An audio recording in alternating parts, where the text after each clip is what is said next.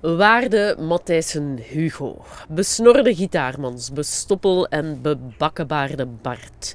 Hugo hoog verheven boven alle Hugo Matthijssens van dit land. Wat jij allemaal uit de grond hebt gestampt en wat jij uit je boksen hebt geknald. Jij, uitvinder van die witte oude rocker met zijn witte baard en zijn zwarte chocolade.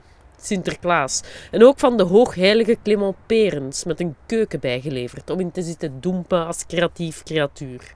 Een filosoof die de filosofische dichters aller landen nog wel iets leren kan. Joe Roxy is zijn geestelijke zoon.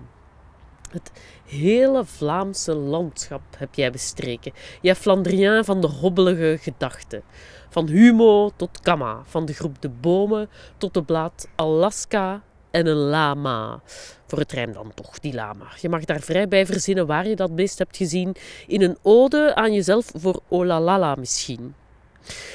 Ik wil maar zeggen, wat er kookt in je laboratoire is een spel met taal en filosofie voorwaar. Je haalt de grond van onder ons uit, je doet pootje lap met de werkelijkheid. Maar goed, genoeg gefilosofeerd.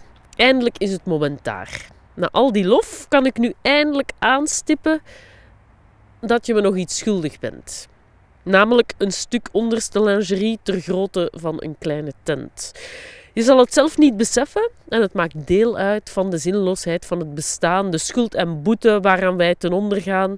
Maar die kan je nog goed maken als je niet wilt verzaken om ofwel mij terug te katapulteren naar het verleden, meer bepaald naar de tijd, dat ik nog niet met veel spijt het universum van de analysen betrad en al daar van het lachen het ophouden van vloeistof vergat. Met als gevolg een vreselijke plas onder de stenen, het moeras. Ik wou, ik wou dat ik een Annelies was.